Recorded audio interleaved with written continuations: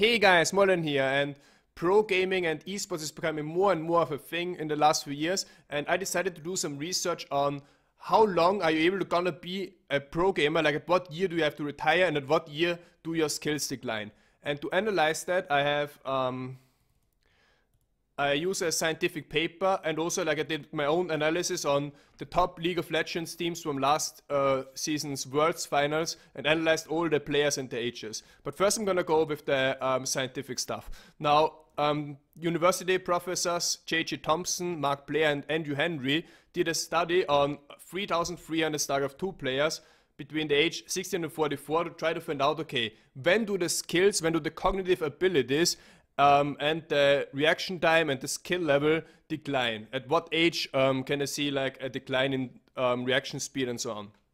Um, and as the title of the, the paper says, is over the hill at 24. And they say that um, um, they find that age-related slowing of within game self-initiated response times begins at 24 years of age. Would you have ever imagined that? That once you turn 24, some of you probably are like me are already above 24, we already suffer from like slower reactions than the younger generation. And to go in this analysis bit, I mean, um, he was also talking about this aging decline and saying that some stuff can be offset with experience.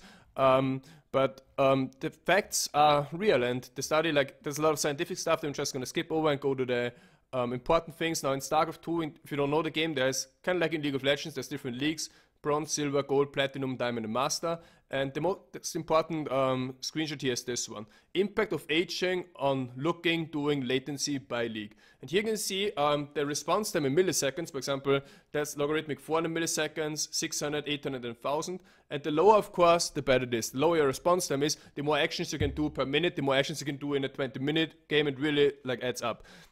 And what you can see here is, for example, um, the light blue here on the bottom is the master's level.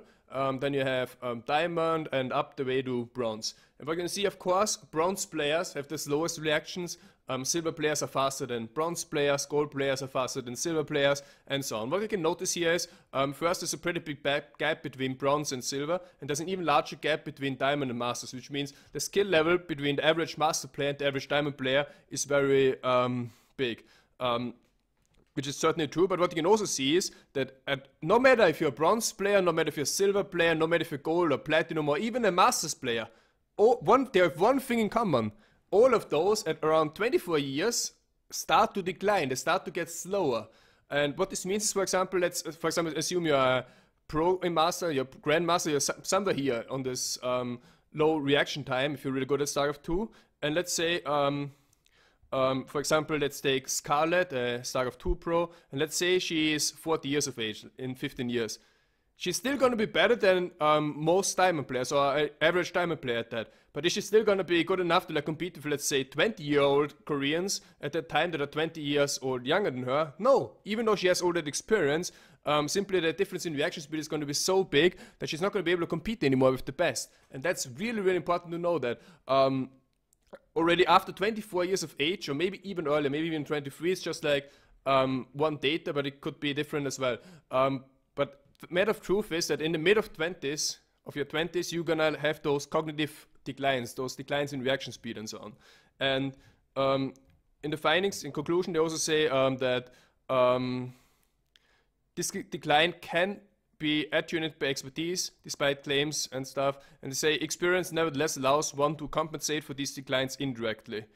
In our study, older players appear to hold their own despite their declines, perhaps by decreasing the cognitive load through the use of simplified strategies or improved use of the game interface, which means um, let's say if you, for example, are 30 or 35, you're still going to be able to play at a decent level because of the experience that you have. For example, you know exactly what to do in which situations, and you know, um, for example, to um, maybe not multitask as much, but really like focus on the core elements of a game. And you can use those other things to like compensate a bit, little bit for the lack of reaction speed. But ultimately, like the best players are always going to be like young players between, let's say, 17 and 27 or something. And now I did my own analysis, and this is even more interesting here. Um, I analyzed um, all the top teams from this season's World Championship. I analyzed all the US teams, TSM, C9, and LMQ, all the EU teams, Fnatic, Alliance, and SK Gaming, and then um, Chinese and Korean teams. And what is interesting here is that the average age, the mean of all of this is 20.4.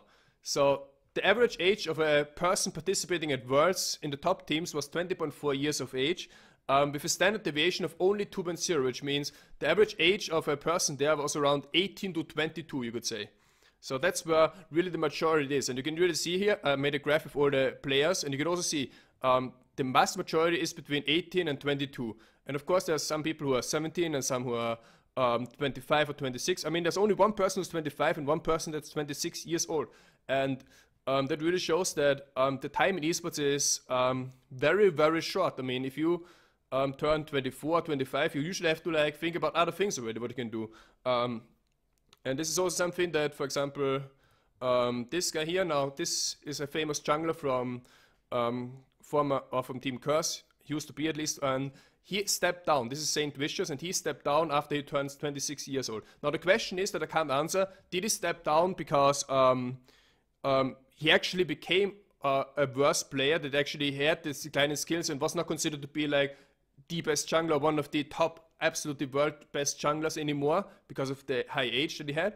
Or alternatively, it could also be that, for example, um, he wanted to focus on other things. He wanted to have more free time. He didn't want to have to still like practice 12 hours a day in the gaming house and stuff. He maybe wants to have a um, social life or family life in addition. So, but in re in reality, it's probably like a combination of both things. Like first, um, wanted to change the lifestyle a bit, and second, um, decline in cognitive abilities and not being able to like um, be the very best jungler anymore for the team that he was playing in.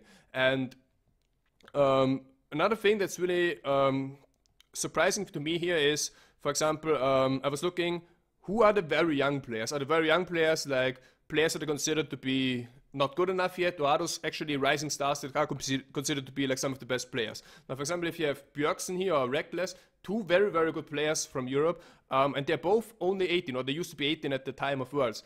And also like other players, like for example, Deft or Dade, considered to be super strong Korean players, they're also only 18 and 19. So it seems um, if you're between 17 and 18, you can already like outshine some of the players in the 20s. What was also interesting was I was looking, okay, who are the oldest players? Who are the oldest players who are actually 25, 26? Because there are few. So I was wondering, like, who are those players that are still able to do well at the high age? And to my surprise, um, or it could be coincidence, but it turned out that it, most of those players, for example, we have LemonNation, 25 years old, support for C9. Then we have Nyph, 24 years old, support for Alliance. And then we have Heart, 26 years old, support for Samsung Blue.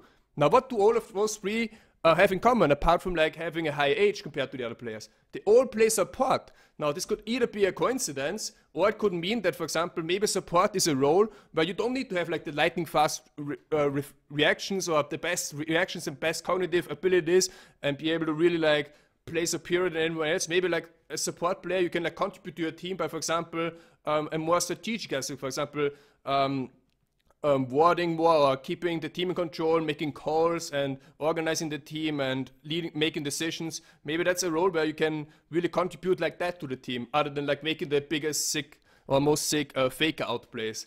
And that's really interesting as well. Now, the problem, as I said, is um, what, what's going to happen to those players? Like once they reach 25, like once in two years from now, this the current existing players going to be shifted. I mean, this curve is probably going to change. There's going to be new players who are like right now 17, like Uzi or um, Imp or Pawn or other players who are really young and gonna dominate then.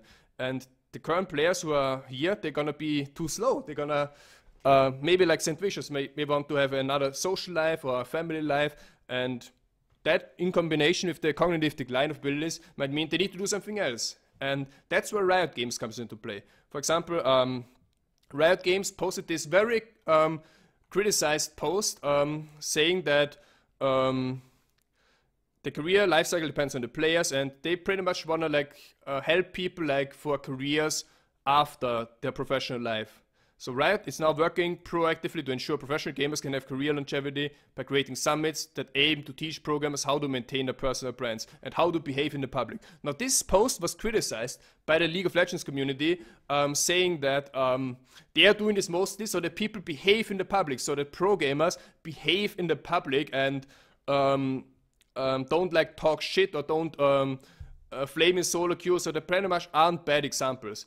Um, and while I think it is true that uh, some part of this decision to have those virtual summits are for that, I also think it's also true in the other direction to really like try to help those people because if every um, League of Legends pro like goes bankrupt or has nothing to do after like his career is over and like sits then with no job and no, no company recruits him, that would be also like bad for esports and for the company in general. So I think they really want to help people and I mean they already did in some cases. For example, the Deficio used to be a foreign former, I think, support player for Copenhagen Wolves, I think, and now is a commentator. And they helped him to like become a commentator, which also like is a pretty secure job for him now.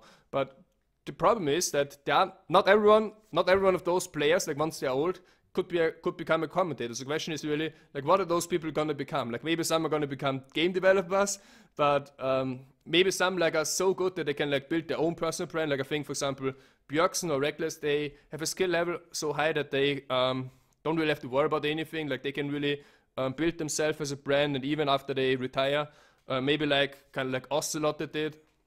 And yeah, but it's really interesting um, that um, at 24 years of age already the decline begins. Um, I was always feeling something like this similar because if you look at all the esports games, I mean, some games they're different. For example, in StarCraft, the average age of the competitors is a bit higher, even though I think at the BlizzCon final, like the winner was like 16 or something.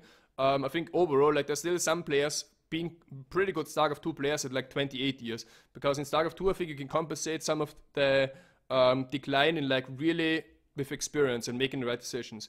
But this should kind of be like a warning for uh, pro gamers that they always should think about what are they going to do in the future because you can't just be a League of Legends pro for 40 years. You can't just be a, a StarCraft 2 Pro for 50 years or until you are 60 or whatever. That's just not gonna happen, man.